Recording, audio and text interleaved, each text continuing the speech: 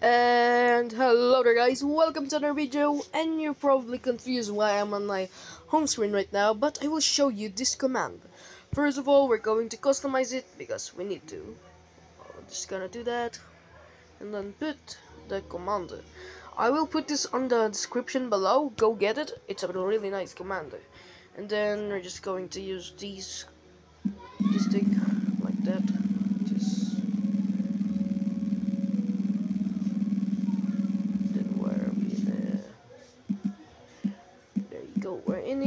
The server name just we just really just need to delete all of these.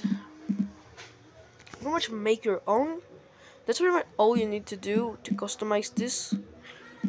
It's gonna gonna be uh subscribe. Subscribe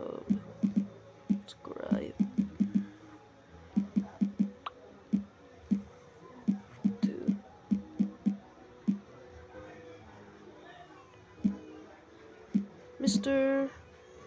Anonymous. And after you've done that, well, you only need to. There you go. Once you've done that, just get all of these, copy all of them. After that, you copy them, and that's pretty much all you need to do. Now, after you've done that, open your Minecraft. And I will be back. Open your Minecraft, get to a world, and use it there.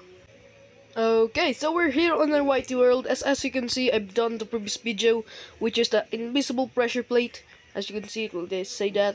So yeah, go watch that video if you want to learn more about this, this thing. You know, if you want to learn about more of that. But yeah, let's get started by the video. Get started by the command. Okay, so there's a bit more procedure than this, than it's just when being one command block. You actually need to, I'm not clickbaiting you, please. And then you're just gonna need to put the thing over here, and then repeat, always active, and it should appear on there. As you can see, this that is the little thing, which is really nice. Subscribe to Mr. Anonymous. Yeah, you should subscribe to me. And I will show you how to customize this, like the server name earlier so yeah do that first and then this is how to add time. You need to objectives objectives. Oh wait you need to add the dummies first. So you need to add oh, scoreboard objectives objectives. Add oh no wait. Objectives add money. Dummy. There you go. Once you've added that you need another one which is quite the same. Scoreboard. Objectives. Add time this time there you go. That's pretty much all you need to do. Oh wait. I forgot to put the dummy. Oh shit. I'm sorry about that. I'm just gonna put the scoreboard objective.